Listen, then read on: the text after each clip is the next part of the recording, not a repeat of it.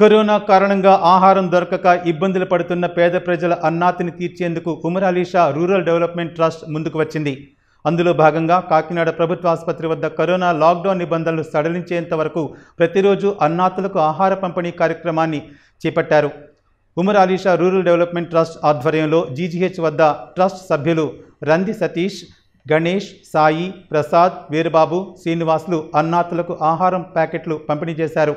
ఈ సందర్భంగా ట్రస్ట్ సభ్యుడు రంది సతీష్ మాట్లాడుతూ లాక్డౌన్ నిబంధనలు ఎత్తివేసేంత వరకు ప్రతిరోజు కరోనా రోగుల సహాయకులకు ఆహారం పంపిణీ చేయనున్నట్లు వెల్లడించారు. కరోనా టైంలో లాక్డౌన్ కారణంగా పేదలు తినడానికి చాలా ఇబ్బంది పడుతున్నారు. వారికి పిఠాపురం ఉమ్రాల్ ట్రస్ట్ నుంచి వాళ్ళకి ఫుడ్ సప్లై చేయడం జరిగింది. ఈ లాక్డౌన్ ఉన్నంత కారణంగా మా పిఠాపురం ఉమ్రాల్ గవర్నమెంట్ ట్రస్ట్ నుంచి ఈ అన్నదాన కార్యక్రమం అనేది పది రోజు లాక్డౌన్ ఉన్నంతకాలం జరుగుతుంది.